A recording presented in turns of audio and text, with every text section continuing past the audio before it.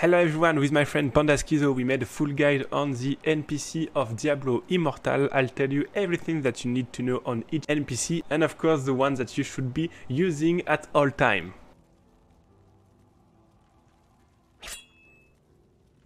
I'll start this guide with the NPC that you need to know they are available in every area, meaning at Westmarch, but also in the safe zone. First one is the Jeweler. She's very useful in order to craft some gems, legendary one but also regular one. And you can of course use this Jeweler in order to upgrade the level of your legendary gems and your gems. The armory is something not very known by the player, but it's very useful in order to save your equipment because it will save every stuff that you have, but also your skills and your gems, meaning that if you wish to switch from one setup to another, it will be very convenient with the armory. The altar is something very good if you wish to have some loots because even if you can unlock only 3 pages at a day, it doesn't mean that you cannot get the experience and the loot. So you can do as much as you want the bestiary, go to the altar and then get the loot and the experience. You have the stash, nothing fancy about it, but you can of course put your items in it. If they are from set or legendary ones, there is no other option to identify it.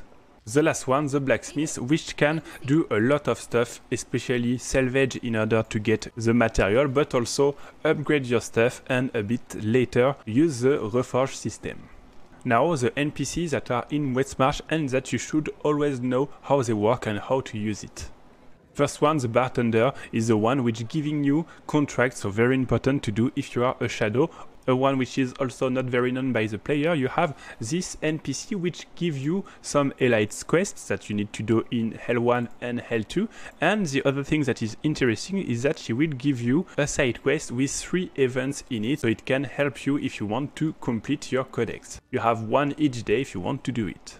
You have the fading embers and runes. It's very important if you want to craft gems. You can buy some fire rune with your embers or the Ati runes. The fire runes are if you want to craft a random gem and the Ati runes are if you want to craft a specific gem. So make sure to know the one that you want to craft, check before on the jeweler and then buy the runes accordingly you have the PvP Battleground Captain, which will allow you to do some PvP at the right time. It's very important to do it because you first have three daily rewards, so I did it already, that's why it doesn't appear. And of course, if you grind in the rank, it's not very hard if you saw the video that I made on the PvP. It will each time give you a legendary essence, so very important to do your PvP. If you want to win your signets, you need to speak with this guy. It's important to do it at the beginning of the reset in terms of shadow. Later, when you reach the fourth step of the shadow, it doesn't matter too much, but at the beginning it's very important to do it. You should already know the bounty system, you need to do it 8 times a day or it will stack up to 24, but don't forget to do it, you have great experiences and some drops.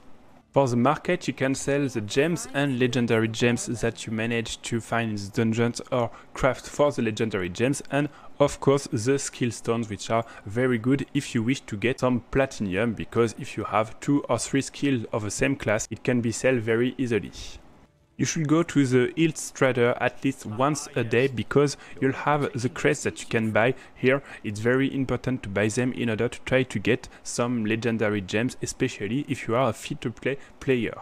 You can also check the limited time because you'll have a crest and some material, so it's very good to often see the Hilt Trader. The charm seller is a bit hard to understand because you can craft some charm, meaning that you can put a charm at level 5 and once you have this charm level 5 you can extract it in order to either sell your skill stone or imbue your skill stone. That means that my Grand Charm, if I want to switch some of the spells on it, I need to use one skill stone, choose a skill, and with some luck, I'll have the skill that I wanted to have from my skill stone. So it's very hard to do. You need some platinums, and that's why I prefer use it on the gems instead of my charm, and that's why my charm is so crappy. Zamina is something that you should also look often because it will help you to improve your build. Once you have a legendary power that you can extract, she will always keep this power, meaning that if I want to inherit something, I can take this armor and put anything on it. I can always change at any time when I go to see this NPC. So you just need to make sure to have the power that you need and then you can always choose the one that you want, change it as many times as you want and so on. The last one, the smithing material, which will help you to get some enchanted dust if you want to increase the level of your equipment. Don't buy the crystal because they are crazy overpriced, but otherwise the dust is very good to have here and you can buy the ones that you need in order to get some level on your stuff. Now the last one, the one that you won't be needed a lot, the first one you have the Archivist. You can see how Immortal works and learn a lot of stuff on it, so if you want to make some research, she is the one that you need to talk to. The Warband guy not very useful only if you wish to go to your camp, but otherwise you won't be needed him. Just know that in your camp you can put and take legendary items for your Warband. The Master Jeweler is someone that you won't be seeing a lot, especially if you are, as me, a free-to-play player, because you need to have your gem level 10 and then use a Dawning Echo, so, so it should be a long time if you didn't put any money on the game. Near to him you have the Crystal Merchant, this one will allow you to buy Echo Crystal, it will help you to level up your gem from level 5 to level 6, and I speak only about the regular gem, not the legendary one, so if you wish to have a gem level 6 you will need an Echo Crystal. The last one, the Crest Merchant, if you want to have Legendary Crest, it only works if you use the real money, so not very useful. Thanks for watching this video, I hope it helps you to understand the NPC of Diablo Immortal, especially if you just started the game.